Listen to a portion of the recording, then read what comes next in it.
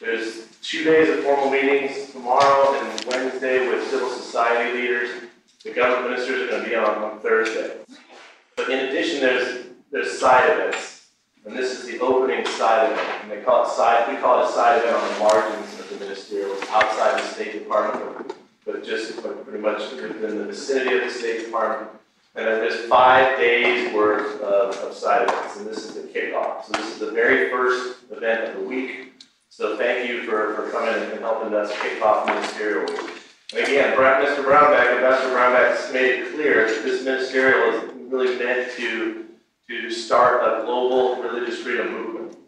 You know, and, obviously civil society is gonna play a big, big role in, in, in building that, that movement, uh, and in being part of that global religious freedom movement. So that we can start to handle problems that you're gonna hear about today. You know, stories of persecution in China, religious persecution in China is the topic of our opening event here. You know, and there's, there's similar stories of persecution going on all over the world. And so again, the whole purpose of this ministerial and, and what, what's gonna come out of it, you know, including coming out of this lunch, you know, by the end of this week, we should have a, a roadmap on, on what we, what we can do as civil society leaders and civil society representatives, religious communities to, uh, build, what, what we wanna do is build like a global network of multi-faith roundtables, religious freedom and or policy roundtables, where we can start to really confront these, these problems of persecution, really dig into what we can do in multi-faith fashion, the coordinated actions, and global, a global network is what we want to build. So what, we already have an international religious freedom roundtable here in Washington DC. They're, they're a co-sponsor of this along with, with the Center for Studies on New Religions. Mon- Massimo Introvigne here with, with that. We've got the International Observatory for Religious Liberty for Refugees, right, with, with uh, Rosita here. Uh, and the, the Uyghur Human Rights Project. You know, We're all co-sponsoring this, but the, the IRF Roundtable here in Washington is a model for establishing similar such multi-faith roundtables around the world. Uh, and then coordinating with governments and trying to coordinate actions, whatever actions that like-minded governments that are working together to advance religious freedom around the world, we want to coordinate with those actions. So you have civil society and governments uh, working in coordination so that we can, again, start to address these problems that are associated with, with religious persecution and start, start to score victories and reduce the amount of persecution and eventually eliminate religious persecution in the world. And that's the, that's the end goal. goal. So again, today is the, the kickoff. We're focusing on religious persecution in China. We're going to have expert remarks first from Moscow, Introvigne, Rosita Sori, Sorite, Sorte, sorry. And then Alex and Micarelli. And Massimo is going to introduce them properly.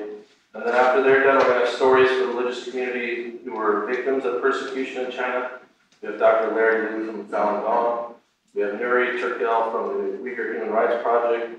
Ms. Jen Queen from the Church of Almighty God. We also have a, a couple of victims and, and members of those communities here in the audience today. And after they tell their stories, we're going to have a little bit of a discussion on solutions, looking ahead, like what can we do to start to address these, these problems. And Terri Marsh with Human Rights Law Foundation is here. She's got a little update on court victory that could be part of the solution. And then we'll open it up to the floor. Whatever time we have left, we'll open it up to Q and A. Does that sound good? All right, good. Now, I'm going to start just by introducing Massimo, and he can, he can introduce the rest of the expert panel.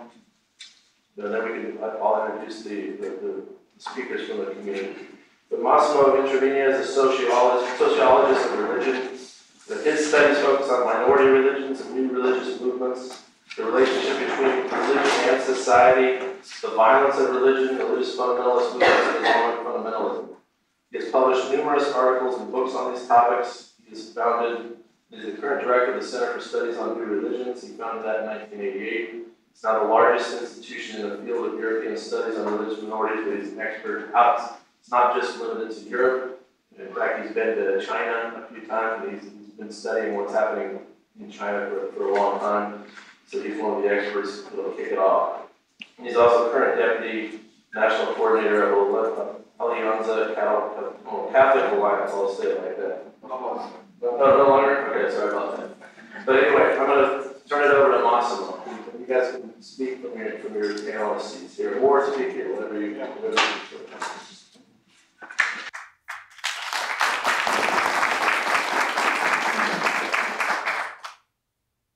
Thank you. A couple of months ago, we started a daily newspaper or magazine online about religion in China called Bitter Winter, which is currently published in eight languages, including Chinese, and main edition is in English.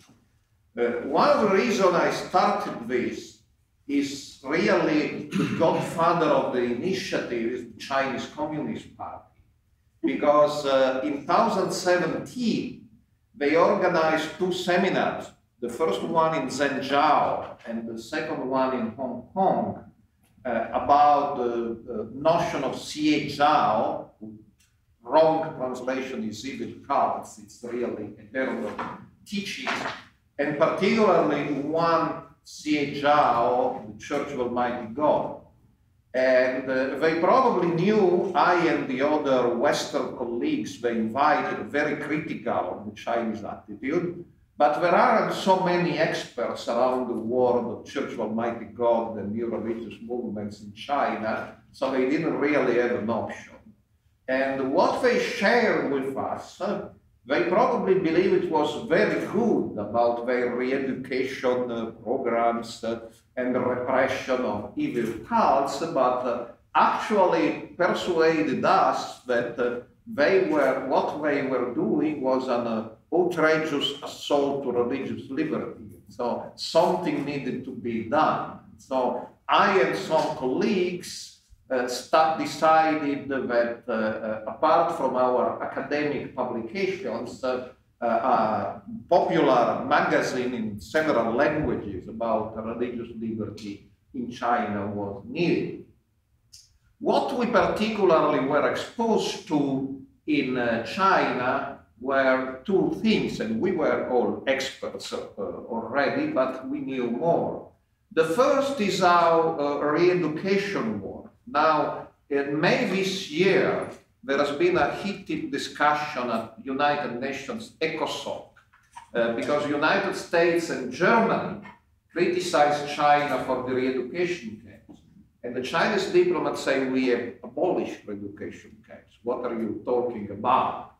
And so uh, what is important is there are three different kinds of re-education camps in China. Uh, the Lao is re-education through labor, you are sentenced by a court of law. Uh, the Laojiao, uh, it's a police administrative measure, and that was really abolished in 2013. Uh, uh, but uh, they were replaced by something actually much worse called re-education through education camps. And notwithstanding the, the, the nice name, in the camps of re-education through education, not only are you subject to intense psychological pressure, but you have to work for free.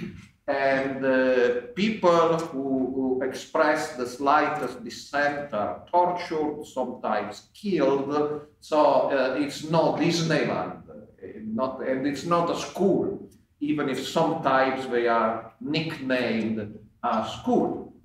So actually this comes, even the propaganda videos they show to us were a clear indication uh, uh, it's a gross abuse of, of human rights. And number two, we discussed the notion of Zhao. It's a very old notion. The Ming started talking about Zhao or heterodox teachings. And uh, we didn't deal with Falun Gong the, the, the conference were focused on the other CHR, uh, particularly Church of Almighty God. And we were very happy to have the leader of Office 610, that's the anti-CHR office of the police, and to have access of the police documents, which proved that the many crimes the Church of Almighty God, that was the focus of this, is accused of, actually were either uh, imaginary or like in the case of the McDonald's homicide in Zhaoyuan in 2014, committed by another religious group. The similar name, okay, similar name, but it's not the same. So uh, I don't believe I will be invited personally a third time to China, but at least uh, uh, we got very useful uh, documents uh, uh, about the repression of the xie jiao, which is purely political, under the banner of crimes, the movements accused of never committed. So we started this magazine which has different focuses. Uh, recently, one is the situation of Uyghurs and Kazakh and other Muslim minorities. I have interacted in international conferences with several scholars more specialized than me in uh, uh, Xinjiang matters, uh, and uh, the current estimate accepted by most scholars, but we have Uyghur friends today who can confirm this, is in the re-education through education camps, there are roughly 1 million uh, Muslims in China today, which is an enormous number because the Lao Gai Lao Laojia system at its peak has 180,000. So we have not seen such as huge efforts at uh, re-education since the Cultural Revolution, and that's only the Uyghurs. Then uh, there is Church Almighty God, then there are underground Catholics, which, despite the dealings with the Vatican, are still arrested. Uh, house church people, sometimes they are accused of being members of a even if they are not. So uh, the, the concentrationary system is unprecedented. It's reminiscent of the Gulag in Soviet Union, maybe 1.2, 1.5 million people, and people die there. People are tortured there. They are not schools. So I believe uh, we will hear about some specific cases uh, in this conference, but it's very important uh, to focus on the fact that I'm from Italy, so I know China's the record number of Prada boutiques, but beyond the Prada boutiques, uh, there are 1.2 to 1.5 million detained in inhuman, appalling conditions in concentration camps in China, and that only because of their religious faith. And uh, my last comment before introducing the other panelists, if we should stand united, because sometimes the Chinese propaganda through fake news try to divide people, saying the Uyghurs, they are terrorists, sympathies they are sympathize for Al Qaeda or ISIS. So Church of Almighty God, they committed. Uh, Could you speak in the microphone? Uh, Church of Almighty God, they committed crimes. They didn't. Uh, Falun Gong are people who want to do ritual mass suicide. Uh, they don't. So we should not fall for the fake news uh, and we should really present a united front because we are not talking about theology. We may disagree with each other's theology. I'm a Roman Catholic. Uh, some people may have other ideas. But uh, what we should fight for is the basic elementary human rights as they are denied today in China. Thank you.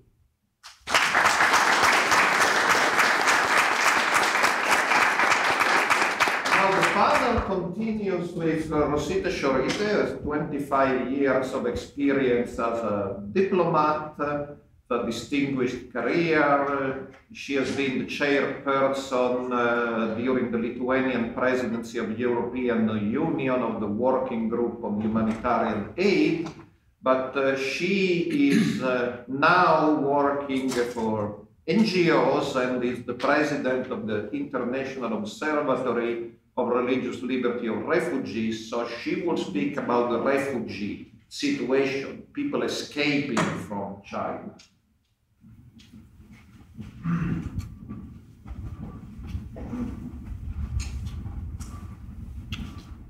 Yes, good afternoon. It's a great pleasure to, to speak here today. And thank you for the grateful, fantastic organization. As you heard, I worked over 25 years as a diplomat, so I know perfectly well. And my last assignment was at the United Nations, and Lithuania at that time was even the non-permanent member of Security Council.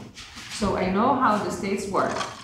So, and uh, why I switched from the governmental side to the NGO side is because as a human being, for me, it was very difficult to sit and do nothing. Then, then we see that things are really very bad. So, and that's that's we see every day through the through the media.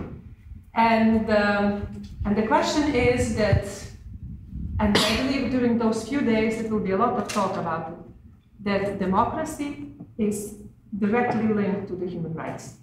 If there is no democracy, there is no respect of human rights. Of course, there is no liberty for the for the for the for, for religious beliefs, because those things they are totally interlinked, and you cannot divide and chop and say. When we have authoritarian regime, and we have more and more than around the world, so we cannot expect that these countries, when they control the, the they control the power, they control the, the elections, they control the freedom of speech they control also the people and the religions. If you belong to a group which is not exactly what the, the, the power, the, the party or people in the power they like, naturally these people they will be persecuted.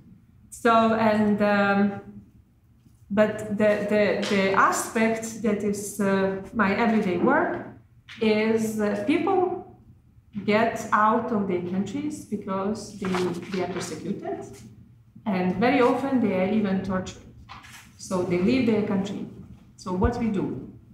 Because it's it's it's nice to say perhaps to go to the meetings and to stay to China or to stay to Russia or stay to Burma. That is, you should respect your international relations. That human rights matters and they just and they say we either don't care or we create a narrative, as, as Massimo Introvigne was mentioned, that every single people from those groups are somehow bad, and uh, they don't need the proofs. They say, you know, they're bad. So that people one day they flee the country. And uh, lately, I'm working very close with the, with the with the Church of Almighty God, which is quite a, a, a large group uh, in China. But for some reason, the Communist Party doesn't like them. So when they don't like them, they chase them. So people they cannot uh, uh, openly believe in, in their church and uh, and uh, I'm, I'm, watching on the watch to see the time that they will not be too long. So, and uh, the church cannot openly openly go to church. They cannot openly read the, the the, the books, and etc. And uh, once the, the, the authorities they discover that people they are in this church, they put them in jail. And uh, very often people are uh, tortured. So, but the problem is, and that's that's where my accent in my speech is, is what we do when these people they reach our countries because now to talk about the refugees is so is so unpopular because we have so many of them. Because it's all the time the, the, the line between who is refugee and who is migrant is all is very often is blurred. And and we, we, we put all these people we put in one basket and we say we don't want the migrants. But it's, it's how to make sure that that really they don't take mis- they don't make mistake and we distinguish perfectly well those who are coming just for economical reasons, yes, life in their country is difficult, but they still can live in their, their, their countries. But people who, are, who will be persecuted, persecu- and they will be put in jail. And the, the facts we collected really a lot, of, a lot of proof that if that these people, when they are abroad, they are quite closely watched by Chinese authorities and once they will be on the plane, and we have even the proofs that some people who tried because they believe that perhaps they somehow can escape, but when they, they, they got back to China, they were arrested and put in jail. We have even more uh, delicate and uh, I would say tragic case because there is, in particular in US now, there is one woman who was one of the biggest leaders, biggest leaders in, uh, in the church and uh, she was hiding for years. She was hiding in, in China. So From China, she escaped to, to South Korea, and from South Korea, she came to US. But the problem is that she came with the, with the, with the passport that was not hers. It was a passport because she, she destroyed all the documents that she had. So then she came with the, with the, with the false name. Now she's in jail. So, and the Chinese, because this person for them is crucial because they are they are chasing the people who are taking who having the, the high positions in the church. So when they declare that this person is somebody who is uh, working for espionage, meaning that if one day she will get back to China, she will be executed. So, and now there is a long and very difficult battle is to prove that this person is exactly this person who is saying she is, and the person will not be sent back. So to conclude, so in, in general, in US, it's, uh, it's, it's a very good country because in most of the cases, uh, specifically the, the members of the Church of Almighty God, they don't have the problems. So they, they quite easily can, if they can prove their identity, if they can prove that they belong to the, to the church, they are they are given the, the refugee status. It's much more complicated in Europe and it's very complicated in South Korea. So, but, but as I said, it's very important that we will not forget and uh, that we will not mix the, the refugees uh, together with the migrants and, uh, and that uh, the things that will not change because some things are already, like we have a feeling that is changing even in the US, that we will not forget that to protect the, the freedom of religion, is also to protect the people who are knocking on our doors. Thank you very much.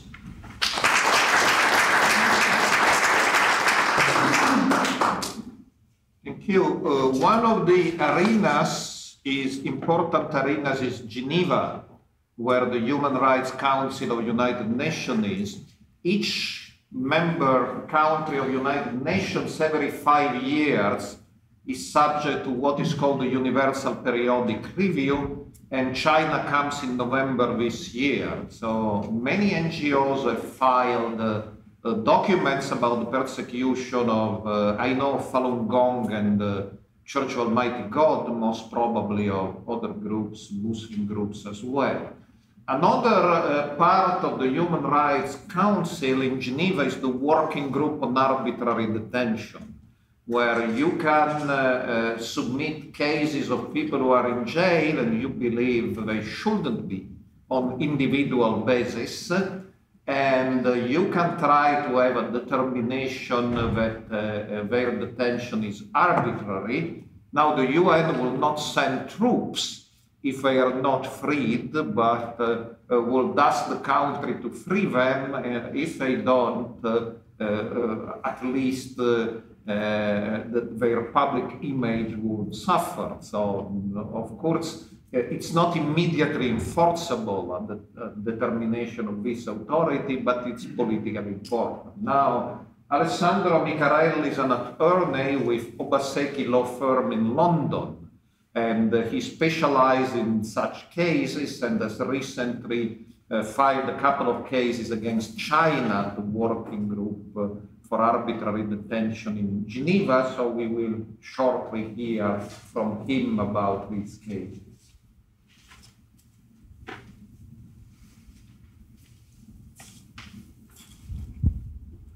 Good afternoon. Thank you to the organizers. Thank you to Mr. Pompeo for having the vision of organizing this meeting. Thank you to all of you for being here today. Um, as Rosita and Massimo said, uh, democracy is a very important basic basis for the uh, implementation of freedom of religion and belief. Uh, likewise, rule of law and human rights are vital for the implementation of freedom of religion and belief. Freedom of religion and belief is, in fact, one, one of the um, fundamental human rights contained in the Universal Declaration of Human Rights, which protects, with its Article 18, freedom of religion and belief for all. The People's Republic of China is not a member of the um, International Covenant on Civil and Political Rights of 1966, which signed in 1998 but never ratified it. Nonetheless, China is bound by the content of the Universal Declaration on Human Rights and as such as to respect freedom of religion and belief of all. The Chinese constitution does recognize freedom of religion for all with its Article 36. But Article 300 of the Chinese criminal law does punish anybody belonging to a Xie Jiao, which, as Massimo Introvigne said, means a heterodox teaching. There are some groups that are being recognized in China and can officially operate as religions, but they are controlled and kind of administered and managed by the Communist Party. All other groups don't have such freedom. Over the last few years, one uh, of the targets of the Chinese Communist Party is the uh, Church of Almighty God. The Church of Almighty God is a, a Chinese new religious movement founded in the 90s in China. Hundreds of members of Church of Almighty God are in detention only for belonging to this group. We can say that Article 300 as such is very unjust and it's also abused by the authorities. As Massimo said, recently I filed two complaints with the working group for the working group on arbitrary detention in Geneva on behalf of two detainees belonging to the Church of Almighty God. There were no allegations, no accusations of any kind against them, apart from being members of the Church of Almighty God. In other cases, the authorities fabricate stories like the McDonald murder that Massimo mentioned just before. What is very interesting is that this procedure with the working group on arbitrary detention can be used by anyone who is uh, suffering arbitrary detention. It's a very powerful tool, but of course there are some issues because it's not easy to uh, provide evidence that the detainee who is claiming to be in a state of arbitrary detention is in fact in a state of arbitrary detention. And why it's not easy to provide this kind of evidence? Because the script is always the same. These people are gathering in a house, the police officer break into the house, search them without a warrant, arrest them, take them to police station, and start moving them from place to place. They can't have any contacts with family. We, they cannot have any contacts whatsoever with other people from their community. So they just disappear. They are kind of kidnapped by the authorities. So when the family or members of their community, their church, want to file a complaint with the working group, they have no proofs at all. They have no evidence. But it's very important to try to collect as much information as possible. And as I did in this case, it's very important to rely on expert opinions from scholars. So I managed to get expert opinion from Massimo, from other scholars. I submitted a number of scholarly articles on the Church of Almighty God and all the cases of persecution they have suffered. So even if you don't have proofs and evidence specific to the case, it is good to provide as much information as possible and as much evidence as possible. China is not a member, I said, of the International Covenant, but it's bound by the content of the Universal Declaration of Human Rights. And it's also bound by the content of international customary law, which means that arbitrary detention is considered something uh, accepted internationally. So, uh, in this meaning, China has also um, the prohibition of, uh, of uh, torture, the prohibition of arbitrary detention is also mentioned in the Chinese constitution. So China has accepted to prohibit arbitrary detention, and China has to implement what is in the constitution. China is a great country with a very long history. Chinese people are very hardworking people. China is a country where religion and spirituality have very positively influenced the society over the last centuries. So now it's time for China to comply with the international obligations, to start stopping labeling groups as a Xie Jiao, which are often referred to as evil cults, which makes even harder for this group to be accepted also in the West. And I hint at the cases of people applying for refugee status, people from Church of Almighty God and from other communities in China that are being labeled as Xie Jiao. And the Western literature called them evil cults. So when the authorities in the West peruse the application, say, you belong to a cult, so why should we grant you refugee status? So it's now time for, for a change, for very important uh, and massive uh, lobbying activity. So as Greg said, uh, it's time to start a new international movement for religious freedom. And it's nice to see so many people like you in this room because we all have same vision and same mission. Thank you very much.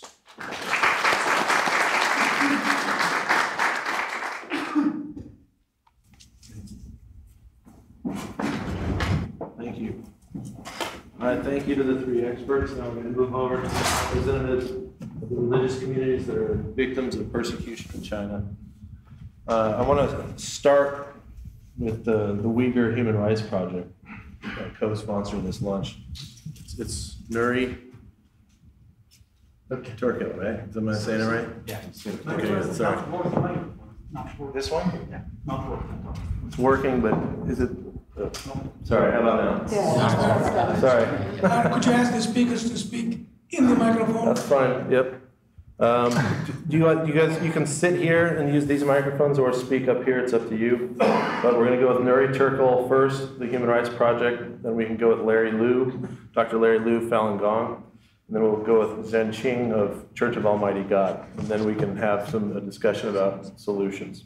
But first to you, Nury. Okay.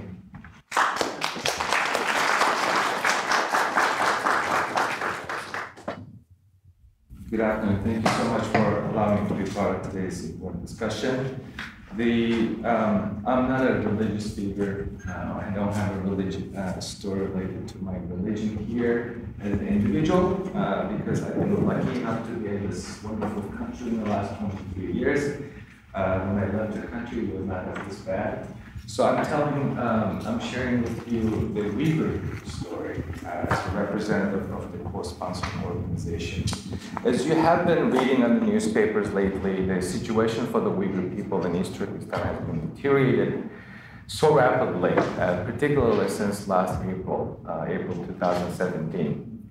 And the people in the civilized world are gradually starting to understand uh, the Uyghurs' uh, dire situation, particularly the, newspaper articles being published in the United States likening uh, the Uyghur situation to the internment camps, uh, the Soviet-style gulags, and uh, about 10% of the population reportedly being detained in the so-called re-education camps uh, in the Uyghurs' homeland. Uh, why are the Chinese so afraid of the Uyghur uh, religion? Uh, why are they so afraid of the Uyghurs' ethno-national identity? It's, it's very, quite simple. Uh, I hope I'm not making it more rational, uh, some rational approach for the Chinese, on the Chinese government's perspective. simply put, the Uyghur religious freedom, Uyghur religious identity, and ethno-national identity have been perceived by the Chinese government since the 90s as a stumbling block to forced assimilation and also a potential political threat. So the existence of the Uyghur identity, the daily practices of Uyghurs and peaceful religious practices have been seen as a problem. Uh, Chinese have uh, used uh, what's called a carrot and stick uh, in the 80s, allowed some mosques to be built and allowed some uh, religious freedom. But uh, since the collapse of the Soviet Union in the 90s, and particularly since 9-11, Chinese government had opportunistically used the war on terrorism as an excuse to crack down on Uyghurs' religious freedom. Um, let's move forward to the uh, events taking place in the last uh, year or so. The Chinese enacted uh, a draconian uh, law, a regulation known as de-extremification measure, that was put in place last April, that sanctions most common and appropriate behaviors that we, uh, people who live in a civilized society, uh, chose to do or even appreciate, such as wearing uh, traditional clothes, uh, which is seen as a sign of diversity and cultural appreciation in Western societies, growing a beard, um, but in perspective, as you, those of you who watch uh, soccer, football, notice in the last couple of years, some of the European soccer players growing beard if they happen to be in the Uyghurs' homeland East Turkestan, that might be in trouble. And adhering to uh, Islamic diet, uh, like the Jewish people, we Uyghur people follow uh, halal food, uh, Jews uh, follow uh, kosher, uh, and Uyghur people have to have chosen to stay within the family when it comes to marriage. That is also being seen as extreme behaviors. And also uh, Islamic names, um, names like Christian, uh, Jacob, uh, if you happen to be in the Chinese territory, would be, would be uh, seen as extreme. So some old people, even the, uh, in their age, um, in the 70s, 80s, have been forced to change names such as Mohammed, uh, or other names from the Quranic, with a Quranic background. Um, who are they locking up?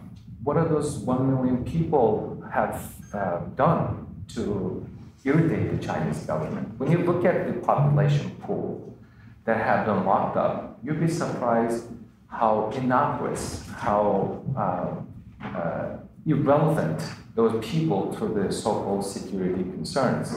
We've seen 80 uh, some years old Islamic scholar once upon a time phrase promoted by the Chinese government and asked to translate Quran from Arabic to Uyghur.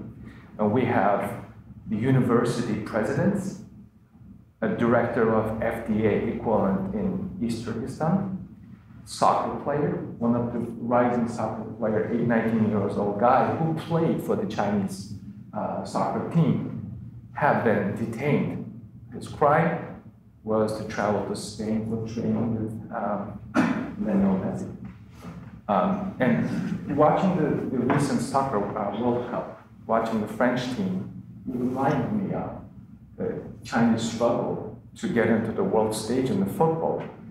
Yeah, they should look at the Uyghur side. There are so many talented people, and yet they're locking up one of their national rising stars in prison. And also, who else are being locked up? Anyone who has foreign ties or have been traveled to some countries, particularly Turkey. And also they have been locking up uh, Uyghur uh, elites. Uh, this is an old story. In the Mao's China, they attacked the elites. Similar things are happening. Intellectuals, writers, musicians, philanthropists, uh, anyone who has a social influence have been locked up. So are we hearing anything from them? Um, and how many of them have been released? The numbers are very sketchy. We only have a handful of people, uh, happen to be actually non two of them happen to be Kazakh individuals, one from the United States and one from Kazakhstan, telling chilling stories, including denouncing their religion, denouncing their ethnic identity, uh, forced to believe in, uh, in Chinese uh, Xi Jinping thoughts, and phrasing the motherland and condemning so-called Uyghur separatists overseas. So they're waging the psychological warfare. The people coming up, uh, going crazy if not confused. Um, and also we've been hearing people uh, leaving the camp, the dead person. So it, is, it has been very, very chilling. And you know, we live in a society uh, we all know never again. And I'm surprised that uh, people in the civilized world, our government here in the United States, have not been outspoken enough. And finally, I'd like to uh, bring up, um, I, will be happy to discuss more specifics uh, with you um, uh, in Q&A session, but recently, uh, former Secretary of State Madeleine Albright said, uh, when you see something, say something. And saying something is not enough, do something. So I challenge all of you to do something for the youth. Thank you very much.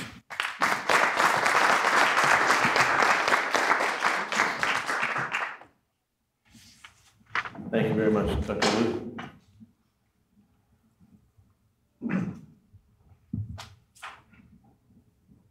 Uh, thank you, Greg, for organizing this uh, great event, and thank you very much for the opportunity to share our story with you.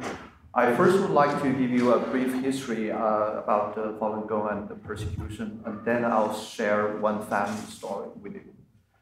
Uh, Falun Gong, also known as Falun Dafa, is a traditional spiritual practice of the Buddha school rooted from ancient Chinese culture. It consists of gentle meditative exercises and a moral philosophy centered on the tenets of truthfulness, compassion, and tolerance.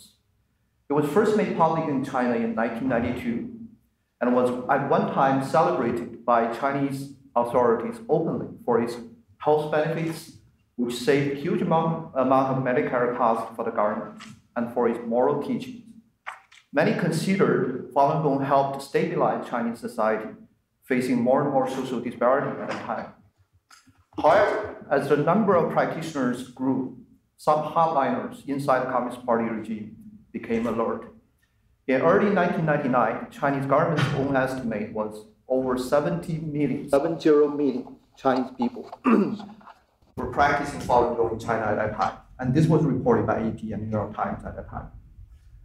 Fearing that Falun Gong was an ideological uh, competition to the party on, on the account of its popularity, independence, and traditional spiritual content, then Communist Party chief Jiang Zemin launched the persecution against Falun Gong on July 20, 1999, exactly 19 years ago this month.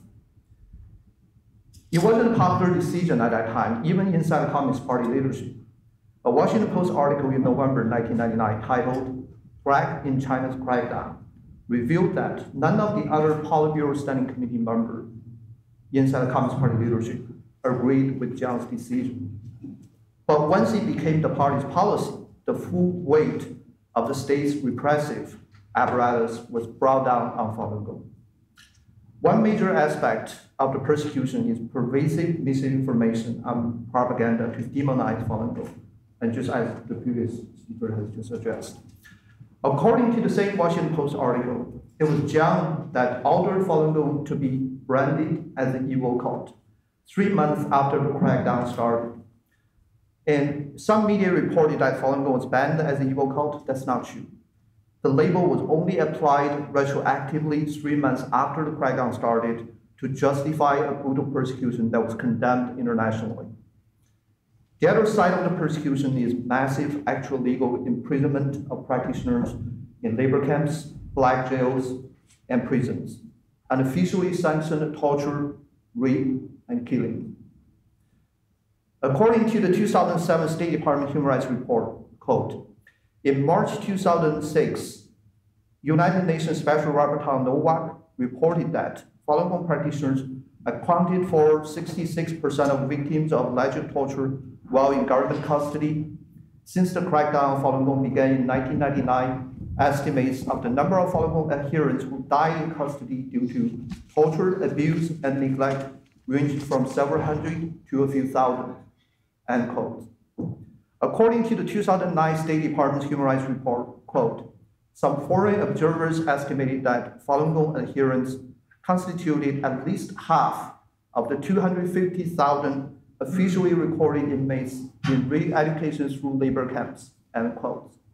And these were numbers 12 years ago, 11 years ago. and multiple independent investigations also estimate that Large numbers of Falun practitioners have been killed so that their vital organs could be extracted and sold for organ transplantation, a lucrative burgeoning, burgeoning industry in China. And two years ago, the House of Representatives passed a resolution unanim- unanimously condemned organ harvesting from Falun Gong practitioners and other prisoners of conscience in China. And it was passed unanimously uh, in June 2016, and you can search for that. It's House Resolution 343. According to a comprehensive 2017 Freedom House report on religious freedom in China titled The Battle for China's Spirit, there is, quote, credible evidence suggesting that beginning in the early 2000s, Falun Gong detainees were killed for their organs on a large scale, end quote.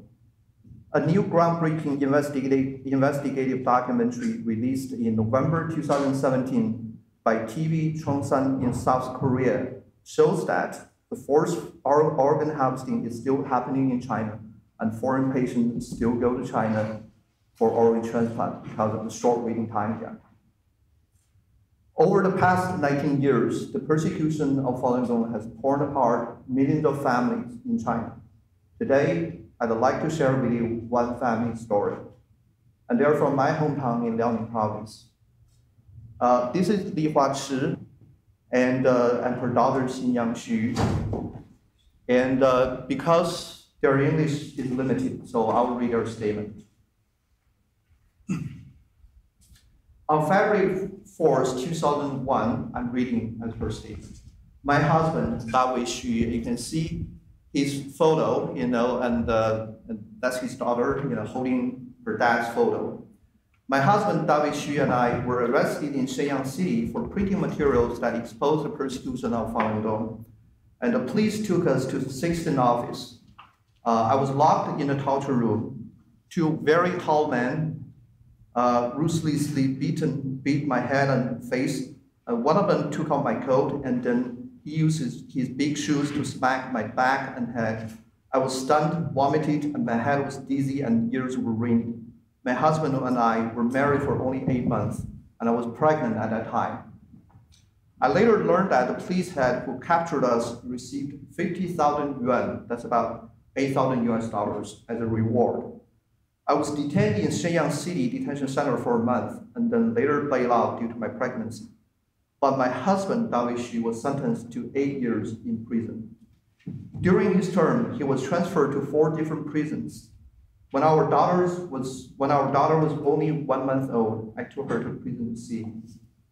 When she was four months old and was not finished running, I was, be- uh, I was again arrested by the police. I was tortured almost to death in nine days and then was sent back home. During the eight years that my husband was in prison, I took my daughter and family members, traveled to those four different prisons trying to see him. But unfortunately, most of the time we were not allowed to see him because the police said he has not renounced his belief in Gong yet. When my husband was in Lingyuan prison, I received a secret phone call from a prisoner there. He said that he could not bear to see how prison guards were torturing my husband. The guards instructed prisoners to use needles to prick his fingers and toes, tie him to poles, shock him with electric batons, and gag him with a rag, among other things. He also told me that Dawei, my husband, was tortured so severely that he could barely breathe. The prison hospitals diagnosed my husband with pleural effusion. I was also told that the money we sent to my husband never made it to him.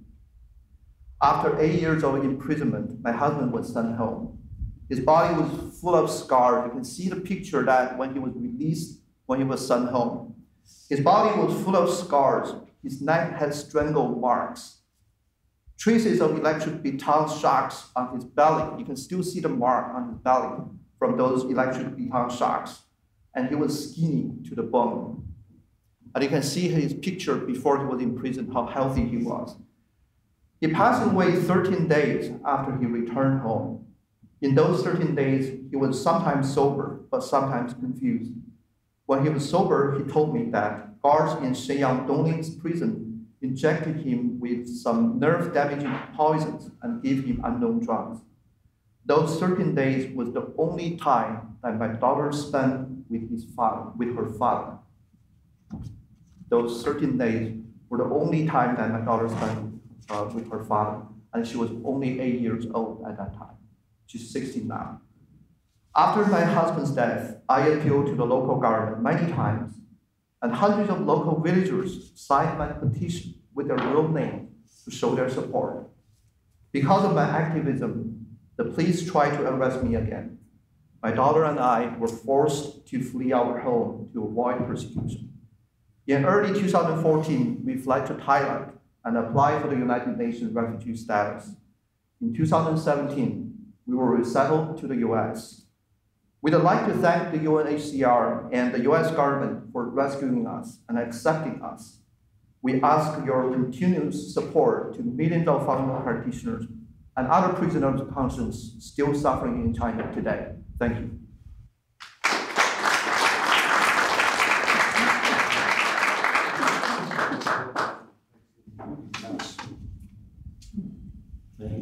Thank you for coming and sharing your, your heartbreaking story. All right, now we have uh, Jen from the uh, Church of Almighty God. Now, she doesn't speak English, so she's going to speak in Chinese, but you have, you should have her remarks in English, you know, if you want to follow along on, on the paper. So, Jen Ching.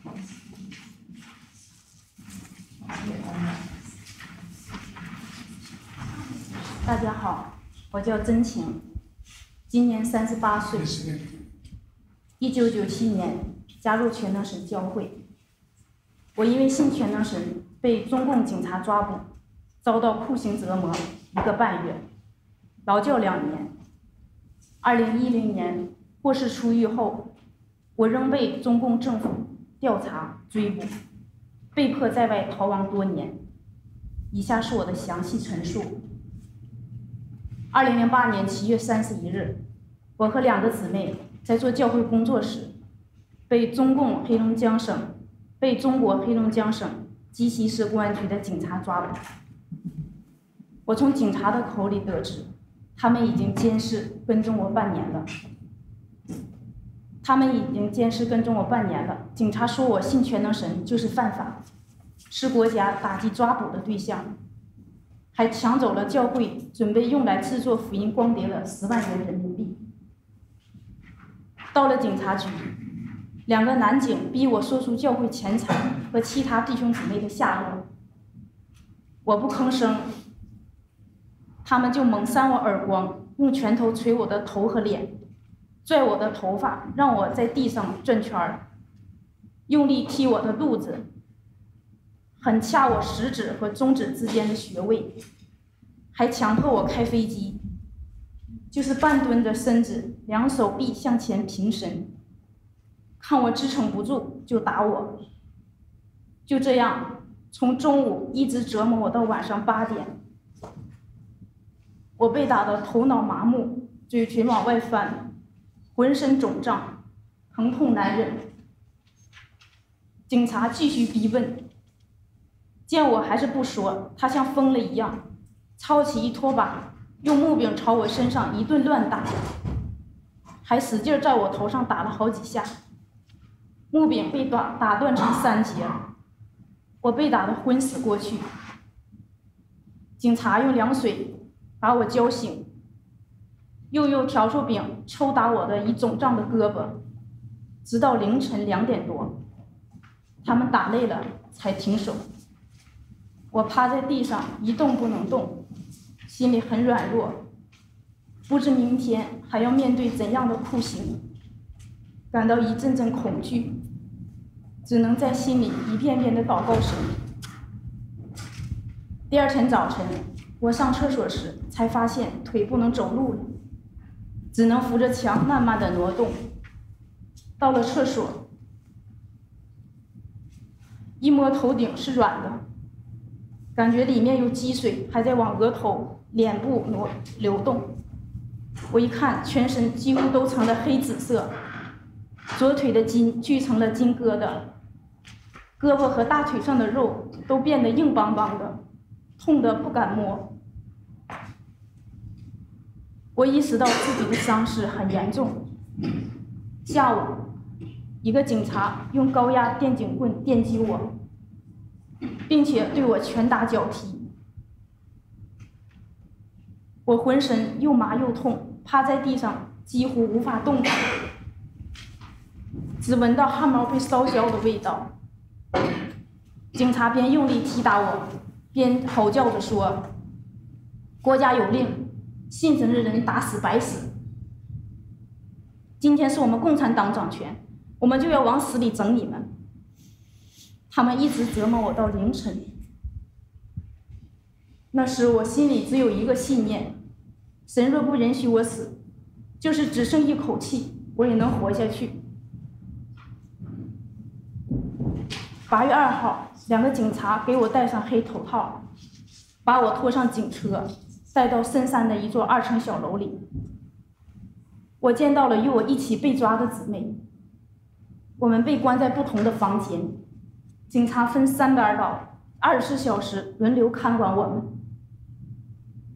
八月三日晚上，警察开始审问我，用电警棍电击我，轮流对我拳打脚踢。折磨我到大半夜。这期间，隔壁不断传来姊妹被折磨、被打得惨叫的声音。八月四日，我听说姊妹受不了酷刑，割腕自杀，差点丧命。我心里很难受，只能默默地为姊妹祷告，求神加给她力量。晚上，两个警察轮流殴打我三个小时。又用粗布条把我的手铐绑在高高的暖气管子上，我的整个身体几乎悬挂在半空中。手铐的锯齿扎进肉里，双手的血管憋胀的像要迸裂开一样，我痛得浑身直冒汗。警察一会儿把布条松一下，一会儿又拉上去，手铐的锯齿一次一次次的扎进肉里。就这样来回吊了我三个小时，我的手腕被硬生生磕出两道血口子。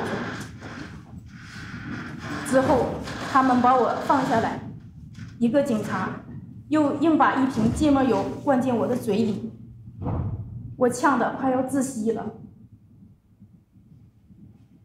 这样的折磨，酷刑折磨一直持续到凌晨两点。八月五日。我被送往看守所，当时我浑身全是伤，走路都困难。警察还没隔每隔一两天就来提审我一次，继续毒打我，用腰带头夹我的手指，用手指抠我的锁骨，想尽办法逼我放弃信仰，背叛神，出卖教会弟兄姊妹。我每天都活在紧张恐怖的气氛里。只要号坟号房的牢门铁房一铁门一响，我就不自觉的浑身发抖。我在看守所的一个月零二十二天，比那五天酷刑还难熬。九月中旬的一天，鸡西市公安局给我扣上扰乱社会秩序的罪名，直接判处我两年劳教，并口头通知我的家人。这时，我的家人才知道我被中共抓捕了。二零零八年九月，我被押上到押送到黑龙江省女子劳教所。警察跟犯人说我是信全能神的，常常指使犯人打骂我。我每天被迫劳动十几个小时，晚上还得值三个小时的夜班。在那里，要想平安的度过每一天，真的是不容易。我只能深夜在被窝里流着泪，向全能神祷告，思念神的爱。正是从神获得的力量，才使我坚强的活了下来。二零一零年，二零一零年五月，我被释放出狱。警察要求我定期去当地派出所报到，如果发现还信全能神，抓住还要判重刑。为了能继续信神，我被迫离家逃亡。二零一六年，在神奇妙的摆布安排下，我逃到了美国。在这里，我终于不再担心因信神被警察抓捕，可以大胆地说我是信全能神的，可以自由释放的见证全能神的。我感到很幸福，很感恩，也恳切的希望能有更多正义人士关注全能神教会基督徒受迫害的实情，帮助并保护他们，给他们一片信仰自由的天空。谢谢。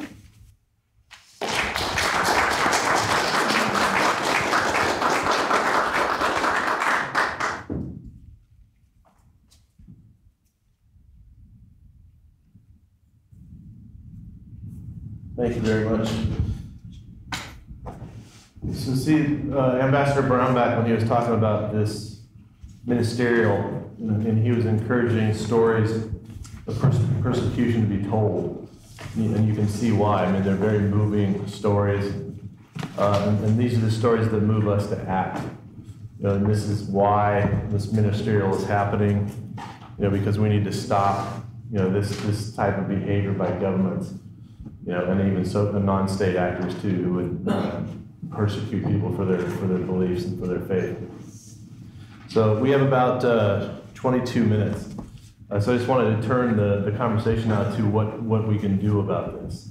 Because again, coming out of this ministerial, we're, gonna, we're all going to be focused on actions, on actions we can all take together, coordinating together in multi-faith uh, fashion, and work, civil society working with government. What, what can we do about this. And I know, just to set the, the stage, you know, you hear people having to flee their homes, with flee persecution just to, to save their own lives.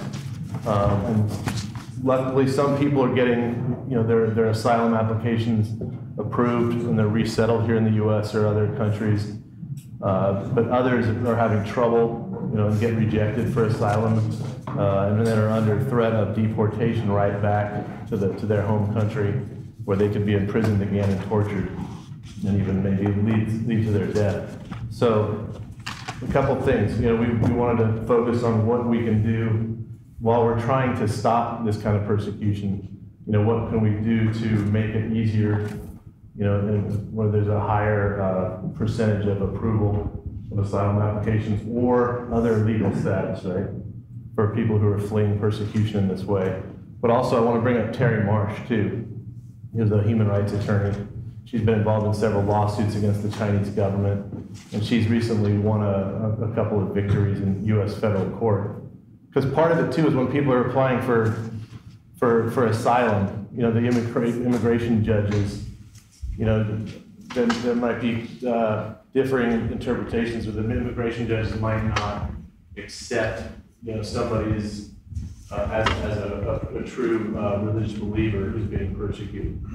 And so I think that some of the, the court victories that, that Terri has, has, has won, you know, might help to establish like criteria that could be applied, you know, for certain religious communities. So judges are accepting that they really are under, are facing religious persecution and, and not, you know, because some judges are finding some of these stories not credible and they're denying, you know, applications for asylum because they don't quite understand like why these persecuted communities and members of these communities do what they do to survive.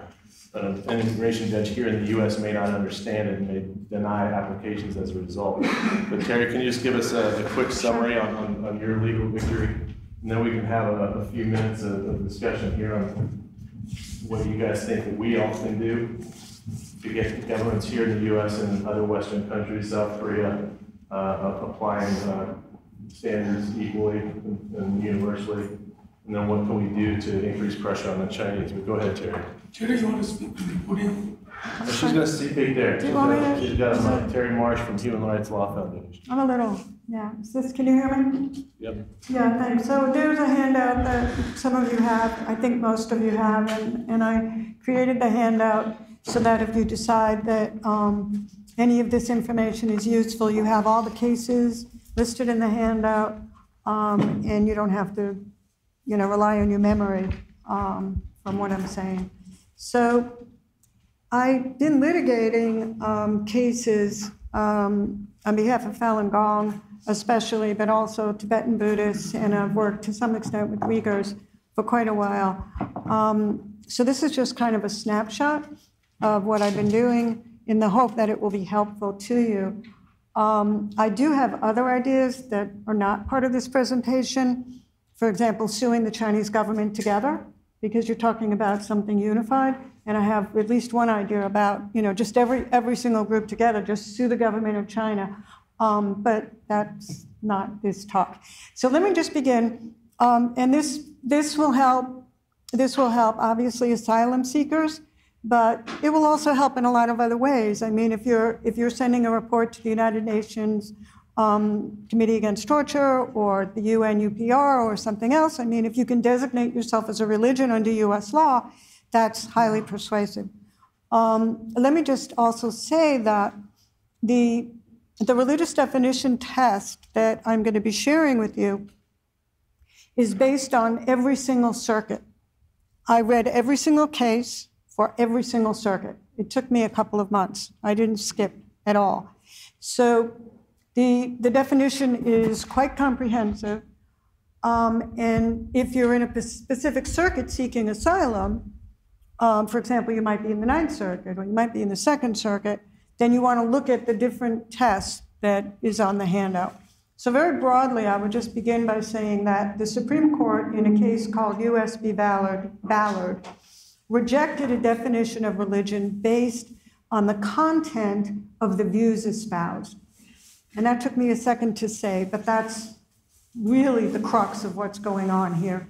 That you can't say that this is a religion because it's familiar to us and there's, you know, Yahweh or some other God that we recognize.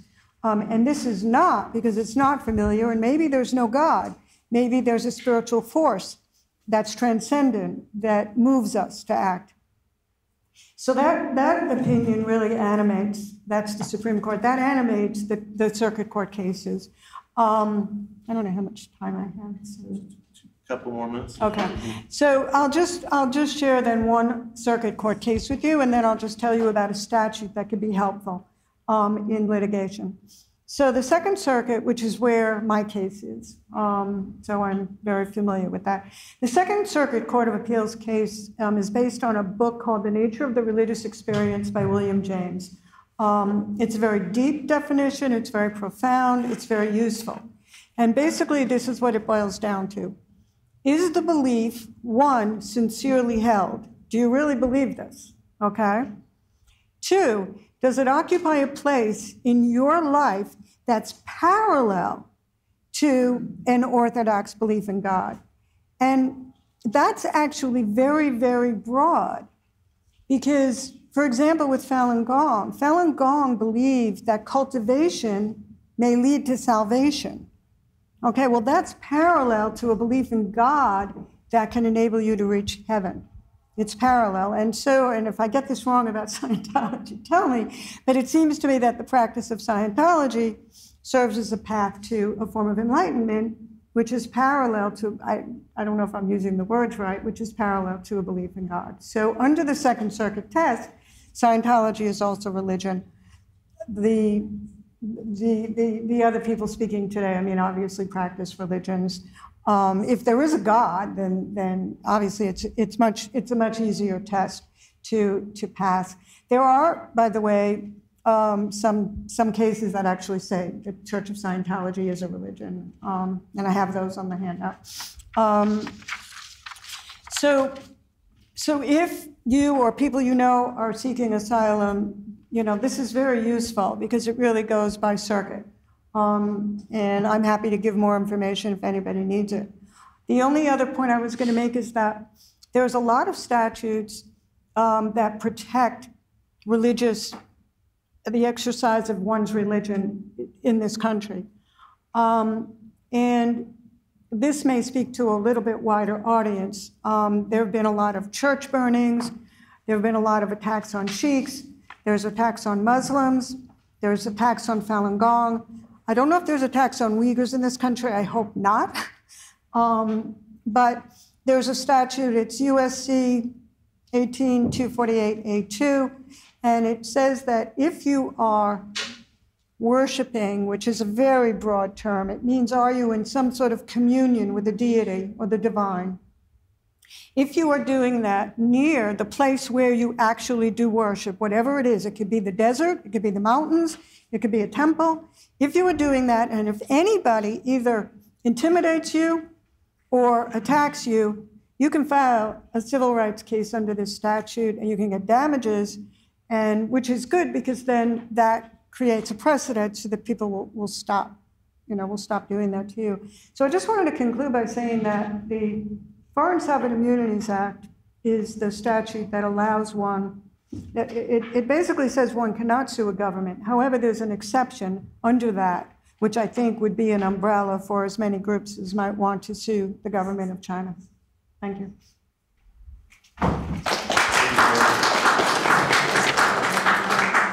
Maybe I'll ask just one question? Maybe, maybe these are the experts and community reps here can, can give an answer, and then if there's a couple of questions from the floor, we can do that before we wrap up. But like what, could I get one recommendation from each expert on as far as like what should we do about, like what's the most effective thing that you think we could do as NGOs and, and what governments can do to try to, to solve this, this problem? Well, in one minute, I just want to share a good practice uh, from Italy. You have been given a brochure on Church of Almighty God. That's not a publication of the Church of Almighty God. That's a translation of a report uh, CESNUR and Orly, our organization, were commissioned uh, uh, to do by the Italian Ministry of Internal Affairs because Italy is one of the three countries with most uh, refugee applications in the world of members of Church of Almighty God.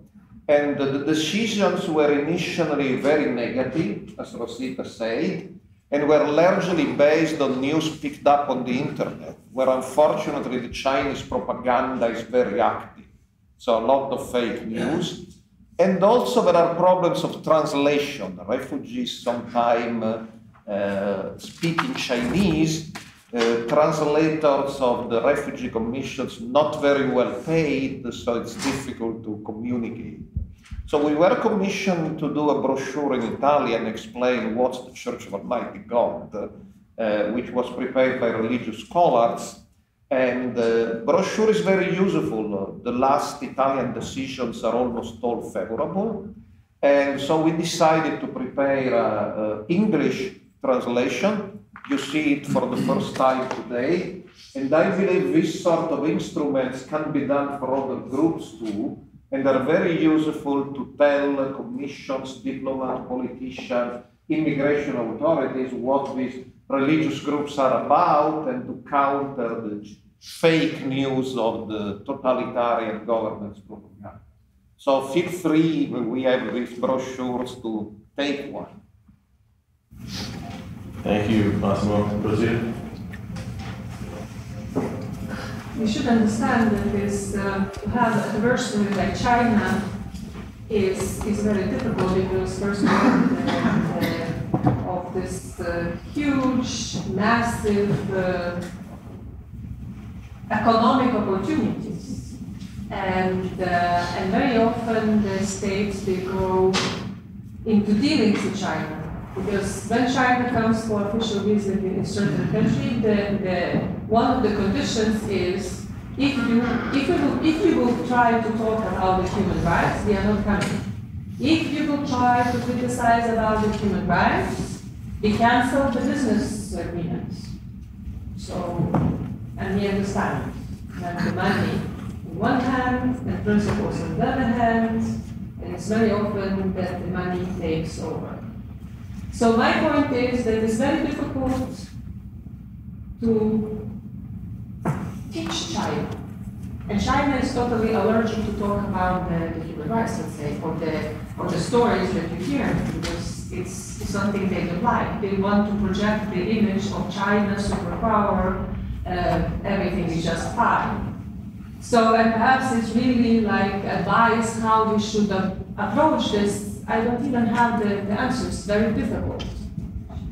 But uh, the role of the, of the civil society is, is to spread the message, is talk about it. It's not to let it be forgotten that is, is, is businesses perhaps is one thing, but, but still the, the, the, the norms that we all we are very much attached is still there.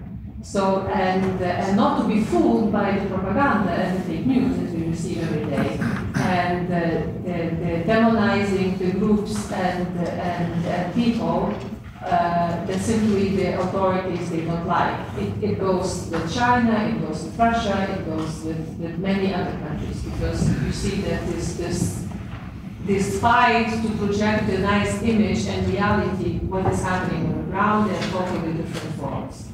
So, and uh, I would call that for, that's, that's what I do, and I call the others also not to be fooled, but really like be very careful and sensitive and not really forget what is really happening.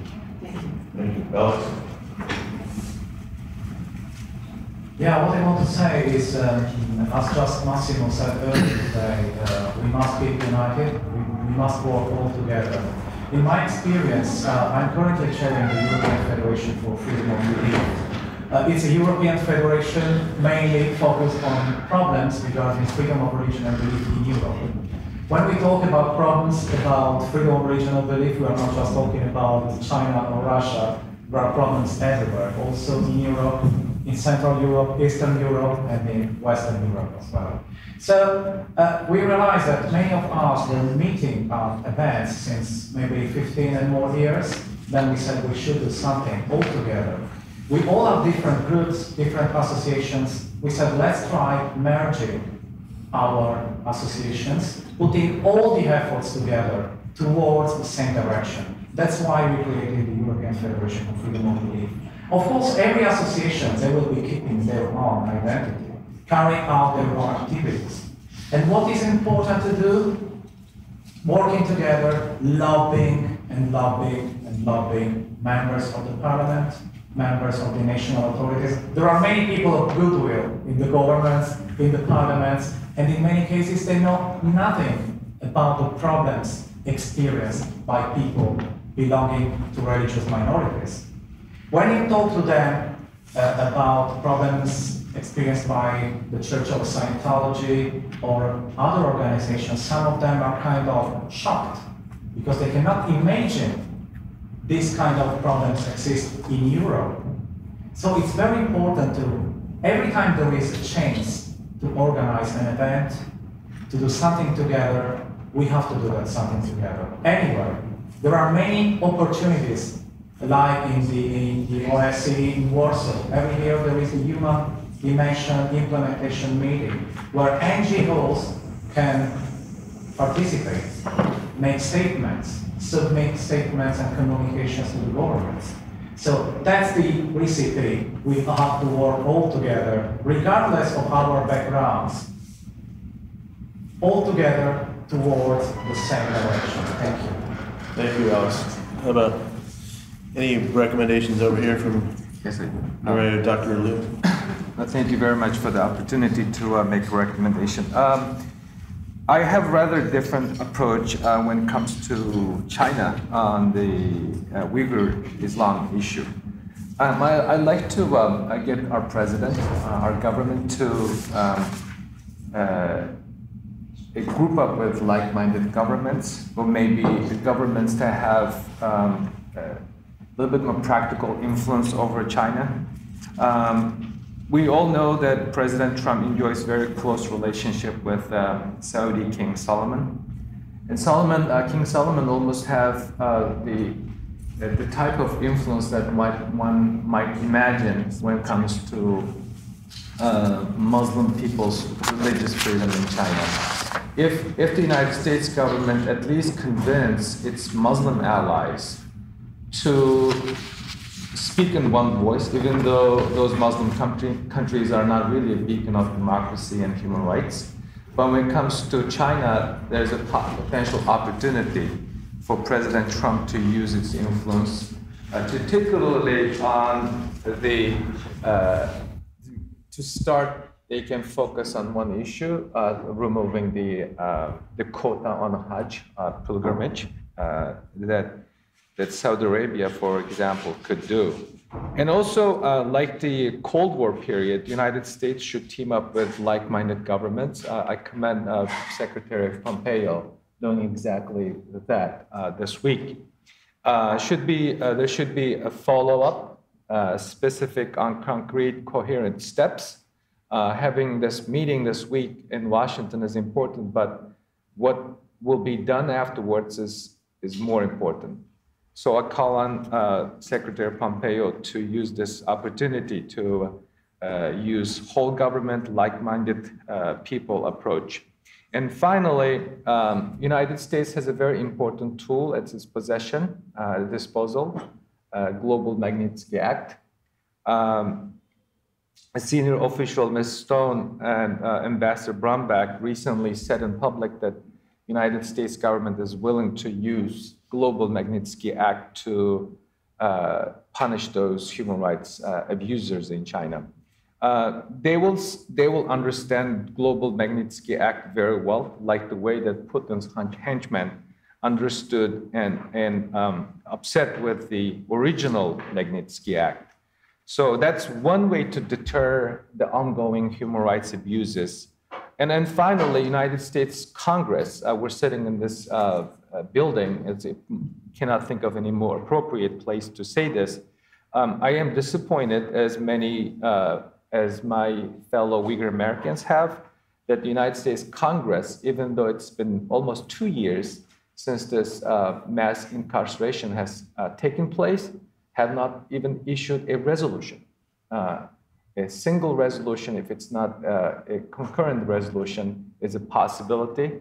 We have already uh, a very powerful uh, statement being uh, statements being made by Senator Marco Rubio and others. Um, it is it is it is urgent, and, and, it's time to do at least a resolution, if not a uh, uh, a binding a legislation to give mandate to the administration to do more specific steps. Thank you, Dr. Liu. Yeah, I just uh, would like to provide an additional point. I think, uh, you know, uh, other than all the initiative on the government side, I think raising public awareness of religious persecution in China uh, will be uh, very helpful because uh, if Americans care, their governments care, right? I mean, so um, I would just want to want to point two aspects that actually connect the religious persecution in China with Americans' daily life, actually. Uh, many people think, well, that's on the other side of the planet. You know, uh, I have nothing to do to do with that. But actually, it's not true. And uh, five years ago, uh, both New York Times and CNN front page had a story about an Oregon woman bought a Halloween tombstone kit from Kmart, and she found a letter inside.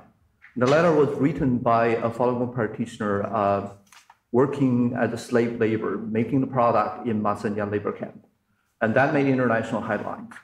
And uh, so uh, that story just made me think how many other products Americans buy from Walmart, Target, you know, other department stores were actually made by prisoners of conscience persecuted for their belief in China. And all of these uh, free slave labor also contributes to the job losses in America, right? We're talking about trade right now with China. So these really, these are real life incident connect the persecution in China with Americans' daily life. And actually tomorrow there will be a screening of a film called Letter from Masanjia about this real life story. And tomorrow at the Foreign Service Association, you know, there's a uh, flyer outside on the table. And also the other aspect is about this organ harvesting. And China has become, uh, you know, international organ tourism hub. And because of short waiting time, people around the world they couldn't wait in their own country and they go to China and to find an organ within a few weeks and within a few days. And uh, these including Americans, Europeans, Middle Eastern, Japanese, Koreans, you know, all over the world. And uh, so, so that's not just a China issue anymore. We're all part of it, you know, and those people, I'm not really blaming the patients, they're desperate, but on the other hand, that's accomplice, right, about that crime. And uh, if you don't really have a demand, there wouldn't be supply. And, uh, but at, at, the same time, there are a lot of collaboration between the American medical community with Chinese medical community. Many Chinese doctors were trained in US and they go back to China and they commit this crime. And there are pharmaceutical companies here and or from Europe, they go to China and doing clinical trials on these immunosuppressant drugs used in transplantation because it's so, so quick to get an organ and so easy to do a clinical trial. So that all made our medical community, our patients to be part of this. And uh, so I think there is a both a moral obligation, but also in real life, you know, connection that uh, we should raise more awareness. And when Americans are more, you know, care about this issue, and also I think it will be easier for Congress and the government to act. All right, we're out of time, but it's- I wanted to thank you all again for, for attending, again, this opening side event for Ministerial Week. And uh, if you haven't seen it, we have the International Religious Freedom Roundtable, we've pu- published a, it's online, so it's, it's like an e-program of all the diff, all the formal meetings at State Department, Tuesday, Wednesday, Thursday, but then all of the, of the side events, Monday through Friday. You know, this was the kickoff, but there's five, five days worth of side events, and they're very good, a very deep and substantive program, and it's very impressive.